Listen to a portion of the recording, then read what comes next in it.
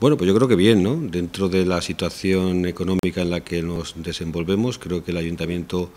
de Segovia eh, yo creo que tiene una buena situación, una buena situación económica, una buena situación en cuanto a los servicios eh, que presta e incluso estamos asumiendo muchos servicios de otras eh, administraciones públicas que gracias a nuestra fortaleza económica podemos asumir y por tanto yo creo que el año 2013 va a ser un mal año a nivel de, España, un mal año a nivel de la comunidad eh, autónoma, pero va a ser un año normal dentro de lo que es eh, la ciudad de Segovia. En este caso, lo que supone el Ayuntamiento de Segovia, vamos a seguir soportando, lógicamente, esa intervención que tiene el, el, Gobierno de España sobre el Ayuntamiento de Segovia. Sin embargo, esa intervención, en nuestro caso, es una intervención light, porque nosotros, como eh, no estamos en déficit, no, no, no, tenemos ningún problema de pago a proveedores, eh, no tenemos ningún problema de desequilibrio económico, etcétera, etcétera, pues entonces esa intervención no se lleva a cabo. Yo creo que la clase política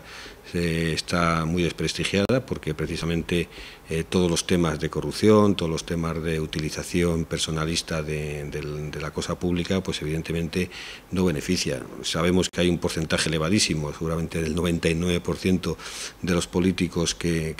creo que, que somos honrados y que lógicamente actuamos con esa honestidad y esa honradez que, tiene que, regir la vida pública, pero sin embargo ese otro 1%, pues eh, evidentemente lo que hace es empañar la actividad eh, política y por tanto, bueno, pues todos nos vemos arrastrados hacia, ese desprestigio. hay muchísimos políticos excepcionales en el momento en que están eh, desarrollando una función pública y además la mayoría de las veces sin retribución. Y por eso yo no me considero ninguna especie rara, al contrario, yo soy una persona normal, lo que se parecen realmente sorprendentes y además eh, para valorarles de una manera muy importante son esos alcaldes y concejales que día a día se levantan y que desarrollan una labor muy callada en beneficio de la colectividad que, representan y además lo único que se llevan a casa son disgustos porque la mayoría de los casos, el 99% de los casos seguramente ni siquiera eh, cobran ninguna cantidad económica y esos son los que realmente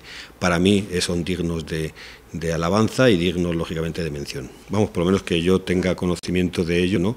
Porque evidentemente nosotros formamos, parte de un equipo, un equipo que se desarrolla a través de, departamentos y las relaciones entre los departamentos eh, superan y exceden lógicamente de, las relaciones personales y por tanto lo que tengan que ventilar los miembros del equipo de gobierno en sede política, me refiero a en el partido político, pues lo ventilan en el partido político y nunca se ha mezclado ni se va a mezclar eh, la actividad política del partido con la actividad del ayuntamiento y del equipo de gobierno. Yo creo que había que volver otra vez a pensar las instituciones. Yo creo que ha llegado un momento en el que después de treinta y tantos años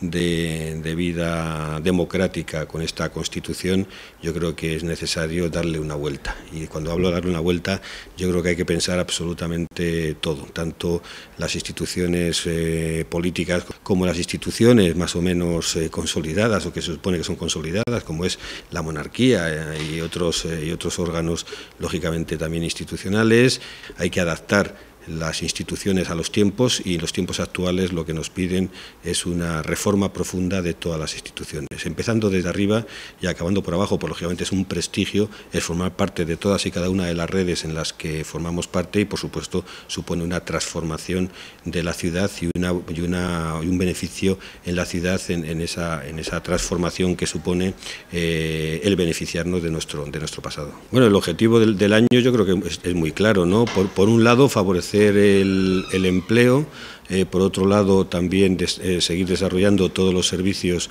propios de la, de la ciudad y por tanto lógicamente no establecer ningún tipo de recortes eh, de la misma y por otro lado pues evidentemente también intentar de alguna manera que los servicios sociales y todo el tema de,